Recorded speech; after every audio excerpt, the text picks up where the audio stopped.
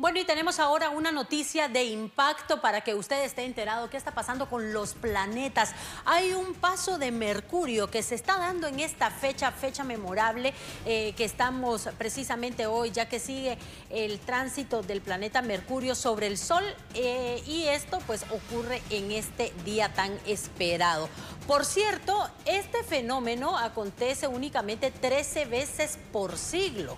De hecho, el próximo tránsito del planeta ocurrirá hasta el 13 de noviembre, pero del año 2032. Según el Observatorio Astronómico Nacional de España, el final del tránsito será visible desde las Islas Canarias, desde ese lado del planeta, con el Sol poniéndose justo en el horizonte, mientras que la península no será posible hasta ver minutos después. Por cierto, acá recordemos que desde la Tierra solo se puede contemplar los tránsitos de los planetas Venus y Mercurio, ya que son estos los que están situados entre la Tierra y el astro solar. Los planetas eh, no giran en torno al Sol en un mismo plano, sino que sus órbitas son las que tienen una inclinación determinada con respecto del planeta Tierra.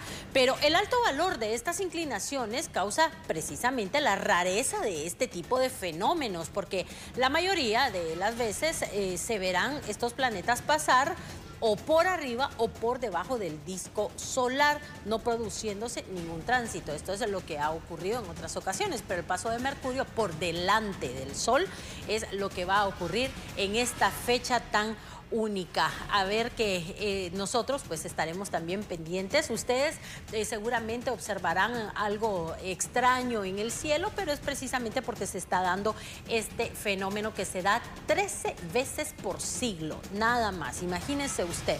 Pues eh, es importante que se tenga en cuenta que para poder observar ese fenómeno se piden tomar algunas precauciones para evitar daños a la vista utilizando filtro solar antepuesto del objetivo a un telescopio o un binocular si alguien quisiera observarlo. Pues la observación con gafas de eclipse solar eh, también que existen es segura, sin embargo verlo simplemente así sí puede causar algún daño, así es que no es recomendable hacerlo. Importante que se eh, información que le estamos brindando acerca de estos fenómenos que se van dando y que por supuesto es memorable. Hoy y la próxima será hasta el 13 de noviembre de 2032. Imagínese usted.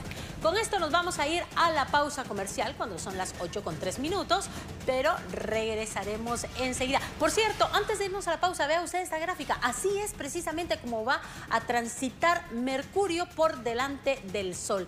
Y es allí en donde se va a lograr ver, por cierto, en, el área de Sudamérica va a ser uno de los sectores que más eh, claro tendrán este fenómeno. Sin embargo, pues desde Centroamérica también se podrá ver, eso sí, pues con todas las precauciones del caso. Nos vamos a